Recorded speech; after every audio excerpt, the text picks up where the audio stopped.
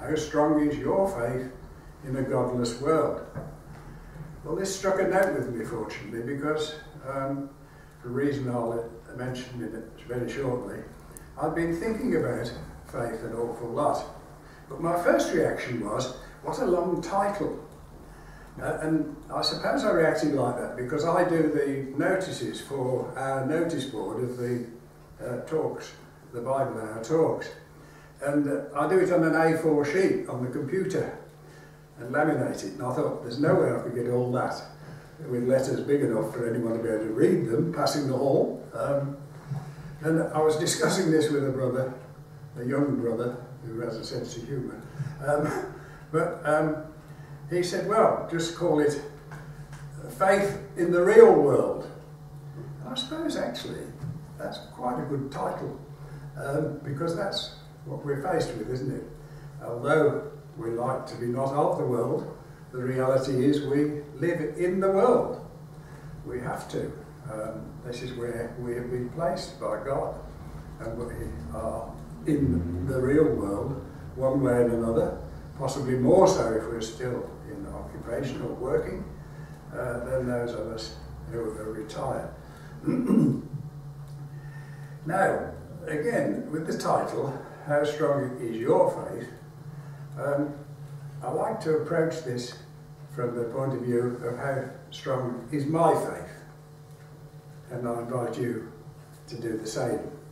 Um, I'm not here to ask you a question about your faith, but perhaps you can ask, ask yourselves a few questions, and perhaps I can introduce some thoughts that will help you to do that. you have to excuse me, but I've suddenly got a, a frog in my throat. I think I was talking too much over that delightful lunch we had. Thank you very much.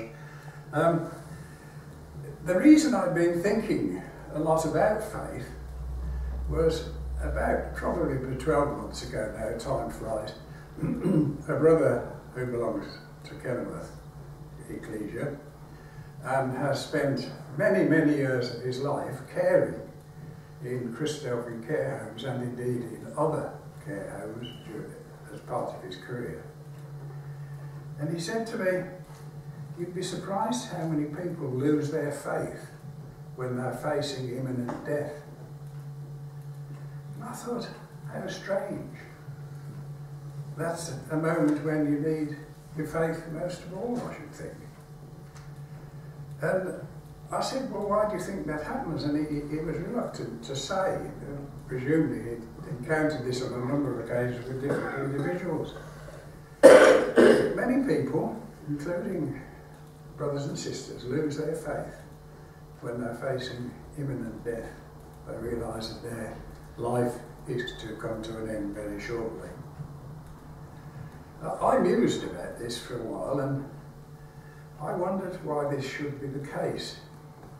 It could be, of course, that they are suffering significantly at that moment and that they believed that, in fact, because of their faith, God would not subject them to this sort of suffering. Something which is worth thinking about and uh, I'll develop a little more shortly. Someone suggested that perhaps it was because they were afraid of the judgment. Well, that doesn't suggest a loss of faith to me. That suggests uh, possibly um, a mistaken belief. Um, they obviously still have faith that there is a God if they fear the judgment. So I don't, I don't think that, I didn't think that would be a reason. But um, the other thing that crossed my mind, having been um, essentially born a Christadelphian, um, we expected the return of Jesus in our lifetime when I was a youngster. And it hasn't happened, has it? And indeed, on many occasions, many uh, people, unwisely I suggest, predicted that Jesus would return on a specific date or time or uh, during a particular period when certain things happened. And this, despite the very clear words of Jesus himself, when he said that no man knows the time. I don't know the time. That was in his mortal life. He did not know the time. But nevertheless, we've, uh, some of have uh, spent a lot of time and energy trying to predict when Jesus will return. And it could be that they got to the end of their lives and they expected Jesus to return in their lifetime. They expected not to have to face death. I remember as an eight-year-old, I think I was, in 1948, seven or eight, year, eight or nine-year-old, um, the excitement when the State of Israel was formed. I, just to explain, I lived in, what I call a Christadelphian community because my dad had eight brothers and sisters and they all lived in the same neighbourhood and they were all Christadelphians. So I lived in a Christadelphian village. And they, uh, there was a lot of excitement at that time, and I, I felt it. As a child, I felt the excitement. Jesus will be back very, very soon. But that was in 1948. Well, he isn't back now, yet. Although I believe the Jehovah's Witnesses believe he is. That's another matter altogether. Jesus has not returned, and perhaps that was a reason for them losing faith. There are a lot of threats to our faith in the modern world, and we'll think about some of them very shortly. It's difficult to define faith. What's the difference between faith and belief? I have my own ideas, but I'm not going to dwell on them at the moment. Perhaps if we uh, do engage in discussion, people might like to uh, comment on that. Uh, it, faith is, of course, it's essential that you have belief, or you can't have faith. The two are inseparable in that sense. The faith is, can't exist without belief. But um, there is, I suggest, a difference. I, I didn't find um, the authorised version, a definition in Hebrews, the first chapter of Hebrews of faith, uh, particularly helpful, really. Now, faith is the substance of things hoped for, the evidence of things not seen. Well, that's not the sort of language that I use these days, and um, I didn't find that terribly helpful. Um, in the NIV, for instance, it says, Now faith is being sure of what we hope for and certain of what we do not see. Uh, and that, I think, is saying essentially what the NIV, uh, the authorised version says. The New King, King James Version says the same. Um, essentially saying it in modern language, which meant a little bit more to me. so, let's think about what our faith is. Our faith is based on beliefs. For instance, or at least for a start, and essentially, that there is a God. And the God that we believe in is the creator and sustainer of all life and is in control. That's the first step, really. We can't prove that, can we? We try, but we can't prove there is a God. So that is where faith comes in to uh, endorse and believe that there is a God, a creator and sustainer. And of course, when we talk here, and when I talk of God, I'm thinking of God the Father, the God revealed in the Bible, the Father of the Lord Jesus Christ. And of course, we also believe, as part of our faith, that Jesus indeed existed, that he lived approximately 2,000 years ago, that he taught the new uh, gospel, the good news, that he healed sick, and that he was indeed both the Son of Man and the Son of God. And that, of course, is absolutely essential to our faith, that we believe that as Christadelphians, and indeed it should be the foundation of the faith of anyone who calls themselves a Christian. Jesus, the Christ, it should be really, although we tend to use the word Christ as if it were a surname but it's Jesus the Christ. And we commented this morning from John chapter 14, verse 6 and 7, that Jesus said, I am the truth, the way, the truth, and the life. He is the truth, the way, the correct route to to God, and that He brings life. And that is essential part of our faith. Now, all the both these things I've mentioned so far um, would be meaningless if we did not believe that the Bible is God's message to man. Because all our beliefs, which lead to our faith, are based on our understanding of the Bible. The Bible is God's message to man. In actual fact, we can't prove any of the things that I've said now completely and emphatically. So we have to have faith that it's true, that the Bible is God's message to man. We appear not to have any other form of message at the present time, uh, as was experienced with the apostles, with the Holy Spirit, able to uh, confirm the beliefs that uh, we now follow and have faith in. and of course, our faith requires a response. It's no good saying, I believe, we just read James chapter 2, um, if it has no effect on the way we live and the things that we do. And we believe that our essential early response is baptism, based on the things that we believe which means that that baptism has to be when we are old enough to understand what it is that we believe and have faith in. And that's why we believe in adult baptism. And indeed, in doing so, we follow the example that Jesus set. He himself was baptized, admittedly by John the Baptist. And we are therefore committing ourselves in baptism to following the example set by Jesus. Essentially, Jesus taught many things, but he summed it all up in a couple of verses, and in fact, it's referred to in that reading from James, although he only refers to there the neighbour, and the essential thing that we have to do to follow the example of Jesus and to put our faith into action is to love God so we have to believe that God is there and exists. We have to have that faith.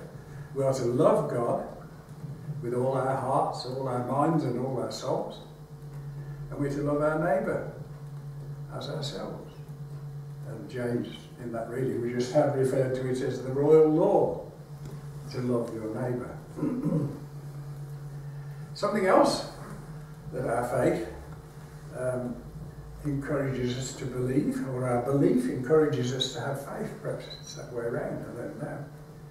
And this is a difficult one, I think, for many people. That God will forgive us. And that through the sacrifice of the life of Jesus, our sins can be washed away, forgotten, if we have faith. It is conditional upon faith. And that's in some ways, I think for individuals it's quite difficult to believe that because perhaps we don't think ourselves worthy of such incredible sacrifice being made on our behalf. and we can have faith that, as I've mentioned, that God is in control of things, and control of our lives, but there are times when things go horribly wrong in our lives. Horribly wrong. And the faith that we are will be protected and preserved and looked after can lead to us lead, losing our faith when we're faced with situations that are inexplicable really. Was only a week or so ago told of a brother who's been looking after his uh, seriously ill sister wife, elderly couple, has had a stroke and is himself in hospital. And he's unable to look after his wife. So we have to be careful about those sort of things and how we understand that. But we only have to look, of course, at the examples in the New Testament, the examples of the apostles themselves. Uh, they suffered. They suffered as ordinary men do. Shipwreck, poor, imprisonment, persecution, um, and very unpleasant uh, things within their lives that made their lives very difficult, but they held their faith, those in particular. Now, we don't face persecution now. Uh, nobody's threatened to kill me because I'm a Christadelphian. Yet they did, of course. They threatened to kill the apostles, and indeed did kill them. But they killed the members of the early church because of their faith. It's very different now, and this is really, I suppose, getting to the real subject of uh, faith in a godless world. I'm not quite sure how I would define a godless world, except to say just look around you. um, the problems that we face are very different to those that the first century apostles and disciples followed. We don't face persecution. What we do come up against enormously is apathy, total disinterest. But I, am talking, of course, now of uh, us here and now in Stafford or in the United Kingdom or in the Western world. There is uh, so little interest, certainly within uh, the UK, in such matters of faith that uh, we face apathy. And perhaps that can lead to us becoming apathetic. We give up, we can't spread the gospel, people won't listen. Uh, another threat now again, very different to the disciples, is the comfortable life that we most of us have. And I think uh, that's probably a bigger threat than most. Um, it's so easy to be content and satisfied with things as they are. Why would we look forward to a, a kingdom when things are so good here? There's also incredible access to entertainment, called, so called, um, when I was a youngster, I was forbidden from going to the pictures. Um, the, a Christadelphian family, um, I was allowed to go when I was 14. Uh, they, uh, but now they're in our room, front rooms, aren't they? For the most part, there television. Uh, there's uh, I don't know hundreds of channels now of different television programs, and uh, so there's so much distraction. So it's apathy and distraction probably, and comfortable living are threats to our faith. And one that I encountered fairly recently is the preaching of atheism. Now, I don't think I heard this uh, being preached as a way of, of, as a way of life years ago. But I, um, I went to a lecture, and the, the title of the lecture was also a question Are all faiths bogus? And of course, the uh, person giving the lecture had already got an answer. Of course, they were. and sadly, those people who have throughout the ages been religious, and indeed including those who have called themselves Christian, have given the atheists so much ammunition. The horrors and the dreadful things that have been done in the name of religion and in the name of Jesus Christ. Wars fought, people slaughtered just because they didn't agree with those calling themselves Christian. Um, and of course, this gentleman used a catalogue of events, starting with the Crusades right through to, uh, well, present days to a degree, on how that um, people calling themselves Christian had damaged Christianity as taught by Jesus. There's no question that there is a great deal of harm committed in the name of religion and Christianity. At the end of this lecture, there was time for a brief comment, and I said, Well, if people had lived the life that Jesus Christ taught, none of these atrocities would have occurred. And he just condescendingly said, Well, yes, I have to admit that Jesus didn't spread, spill any blood. And I wasn't quick enough because I wanted to say, oh yes he did, yeah. his own. That's a very significant difference, but I'm afraid I only thought about that too late. Um, now, um, there are different kinds of faith, really. There's what I would perhaps unkindly call a blind faith. um, and in contrast with that, what I call my own faith, which is a reasoned faith. Um, based, beliefs based on probability and extreme likelihood that they are right. um, I suppose to some extent it's a matter of being pragmatic. We can see the wonders of nature, um, the miracle really of life on earth, and all the evidence around us. There's a brother, friend of mine who was a biologist, but nevertheless, his faith is so strong because of the incredible things that he has he's taught about and learnt about during his lifetime. Just as a slight aside, I had a cousin, he actually lived in Stafford, um, and he taught at Stafford University. He, um, when he was a teenager, he decided he wanted to be a scientist. Philip, his name was. And uh, he, although brought up in a Christadelphian family, in Christadelphian beliefs, he decided that there was no God.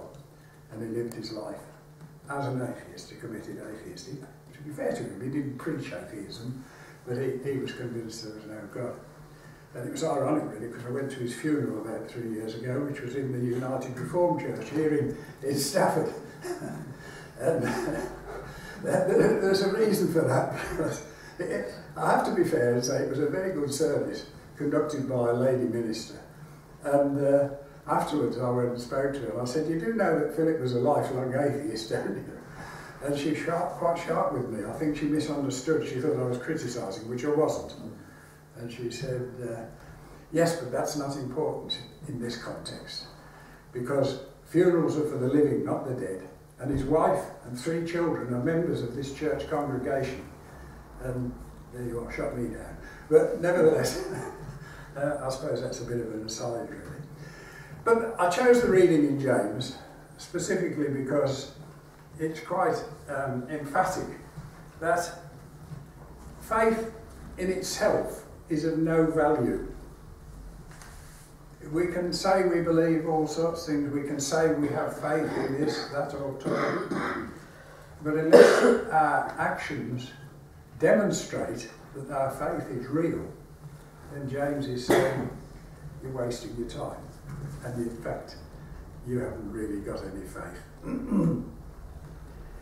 what does it profit, my brethren, if someone says he has faith but does not have works? Can faith save him? Question there you might like to answer. If a brother or sister is naked or destitute of daily food, and one of you says to them, Depart in peace, be warmed and filled, but you do not give them the things which are needed for the body, what does it profit? Thus also faith by itself, if it does not have works, is dead.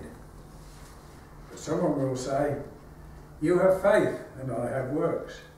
Show me your faith without your works, and I will show you my faith by my works. And their works are indeed the evidence of our faith or lack of it. I just um, would like to go on and invite some comments and discussion shortly, but um, there was an article in the Christadelphian uh, by Kevin Talbot from Cannock uh, this month's Christadelphian. Um, I expect you all know him, I, this part of the world.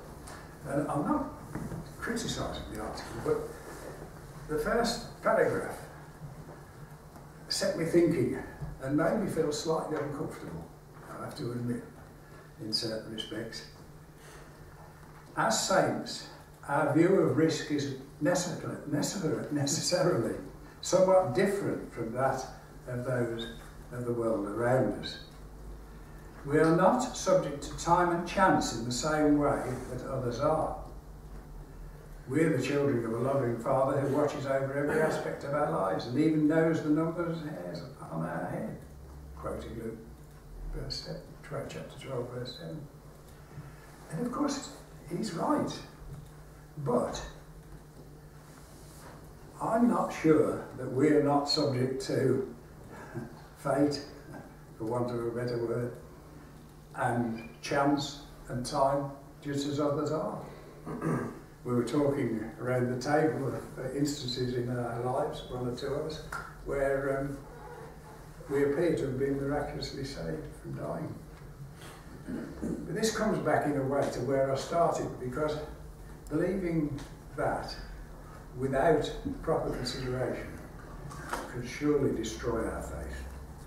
If we think our life is going to be a bed of roses and that nothing will go wrong, when something does go wrong, we're likely to lose our faith. Now you may or may not know, but Jean and I lost a son when he was 34 years old to cancer. To some, that could be a faith destroying incident.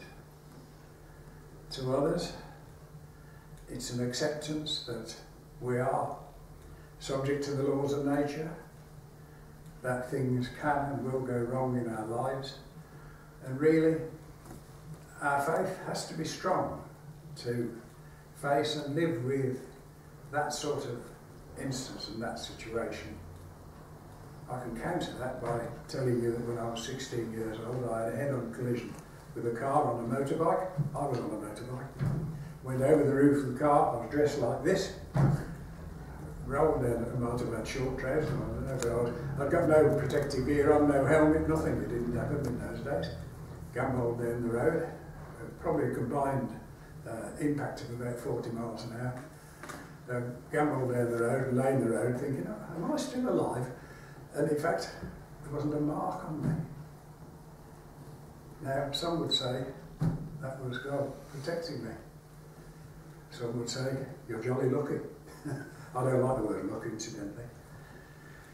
But nevertheless, there are many temptations, many things that can be inclined to destroy our faith in a godless world. And the question that was asked at the beginning was how strong is your faith in a godless world? You see, I believe that love or charity, depending how you want to define it, as in 1 Corinthians 13, is really the outpouring of faith and hope combined. That, in fact, it is because of our faith and because of the hope that we have, and that we do believe and accept that God Almighty is in control of things, that His Son Jesus taught us and showed us how to live, and He showed us how to live and summed it up with love God and love your neighbour as yourself.